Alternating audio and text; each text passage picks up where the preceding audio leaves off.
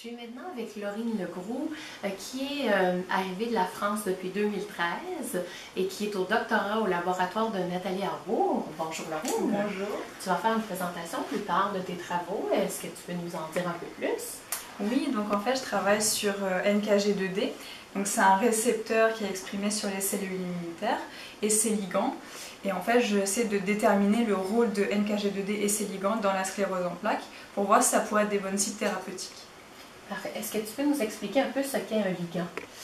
Un ligand, en fait, c'est euh, donc une molécule qui est à la surface des cellules qui va pouvoir se fixer au récepteur et l'interaction entre le récepteur et les ligands va entraîner des réponses cellulaires.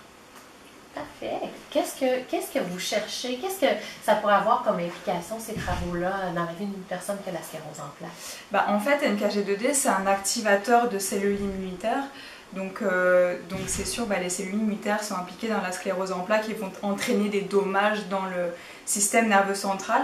Donc empêcher en fait ce récepteur activateur d'agir bah, pourrait vraiment être bénéfique pour les personnes qui ont la sclérose en plaques. Très intéressant. Quel, quel champ de recherche t'intéresse particulièrement euh, ces jours-ci? Qu'est-ce que tu suis de plus près? Qu'est-ce que tu penses qui est le plus prometteur? Bah, moi, ce que je trouve intéressant, c'est toutes les études sur la remyelisation. Je trouve que c'est, euh, ça serait des, bonnes avancées thérapeutiques, c'est des, choses qui ne sont pas encore euh, sur le marché et qui pourraient vraiment aider les personnes qui ont peut-être une maladie plus avancée, qui sont en phase progressive, donc de permettre au, au cerveau en fait de se réparer, d'être reminimisé.